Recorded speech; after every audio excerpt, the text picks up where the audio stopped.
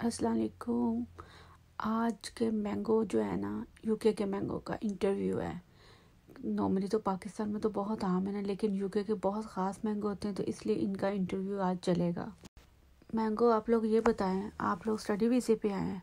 Work permit पे आए हैं? बिज़नेस वीज़ा पे आए हैं? मैंगो आप लोग ये बताओ कि आप कौन से वीज़ा पे यूके में आए हो? तुम लोग यूके में आके हमें हाथ नहीं लगाने देते मैंगो सौ बार इंसान सोचता है कि मैंगो का बॉक्स लें या ना लें। इसी कश्मकश में इंसान रह जाता है। पाकिस्तान में आप लोगों को कोई नहीं पूछता, ऐसे आवारा घूम रहे होते हो तुम लोग।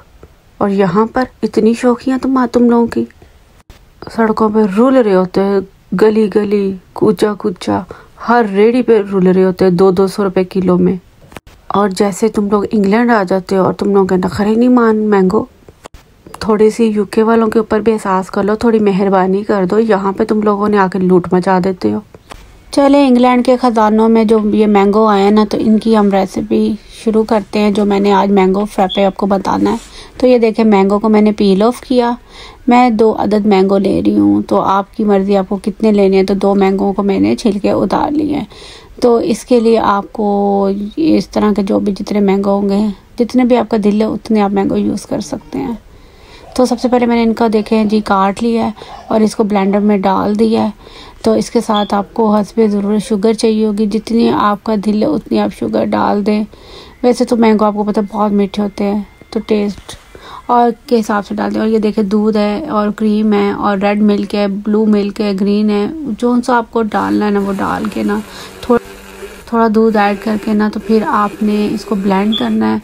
ब्लेंड करने के बाद फिर उसको आप टेस्ट कर लें शुगर का, और उसके बाद जितनी भी आपके पास आइस पड़ी है ना, उतनी इसमें डाल दें।